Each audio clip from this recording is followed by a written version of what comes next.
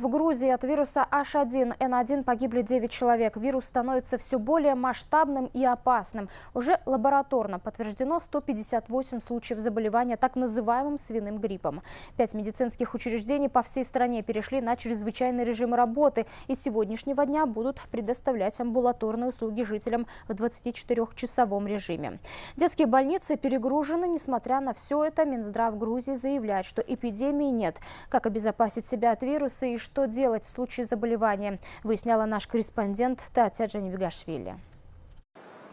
В Грузии от коварного вируса H1N1 за последние три дня погибли еще трое жителей. 25-летний мужчина и двое 40-летних женщин. Врачи несколько дней боролись за спасение их жизней, однако безрезультатно. Как уверяют специалисты, все жертвы вируса с опозданием обратились за медицинской помощью, несмотря на очевидные симптомы, характерные для так называемого свиного гриппа.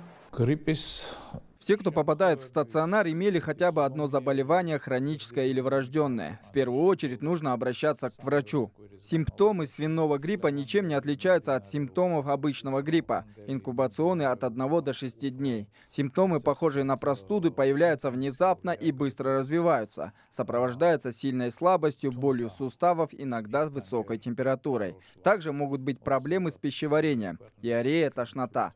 Глава Минздрава Грузии уверяет, что несмотря на увеличение числа случаев заболевания вирусом гриппа, угрозы эпидемии пока нет. Давид Сергеенко призывает всех жителей сделать вакцинацию и соблюдать меры гигиены. На сегодняшний день общий показатель заболеваний гриппом составляет 256 человек на 100 тысяч людей. А эпидемией заболеваний считается, если количество заболевших достигает порядка 500 на 100 тысяч человек. Мы периодически напоминаем населению, насколько важно вовремя обращаться к специалистам в случае проявления симптомов и в случае необходимости своевременно начинать антивирусное лечение. В стране сейчас есть достаточные запасы антивирусных препаратов.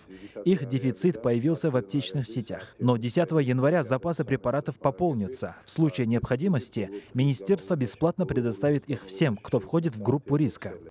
Наиболее опасным вирус считается для беременных женщин, маленьких детей, пожилых людей и тех, у кого есть хронические заболевания. Этим людям врачи советуют надевать в общественных местах медицинские маски, ежедневно гулять на свежем воздухе и придерживаться здорового питания. В первую очередь я стараюсь учесть советы медиков и часто мою руки, хожу в защитной маске. К сожалению, в этом году я не успел привиться. Поэтому всячески стараюсь антивирусными препаратами перебороть этот пиковый период. Мы стараемся Стараемся максимально следовать советам специалистов и соблюдать нормы гигиены. Меньше появляться в местах скопления людей. К сожалению, вакцинацию пока не делала, а так пью витамины.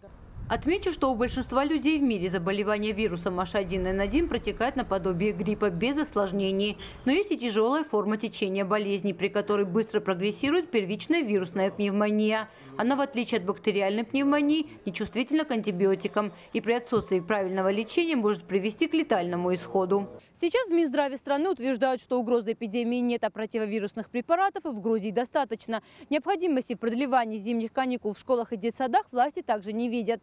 Несмотря на это, вторую волну вируса специалисты ожидают уже в феврале. Татьяна Джанибегашвили, Шалва Сурамелашвили, Хабар 24, Грузия.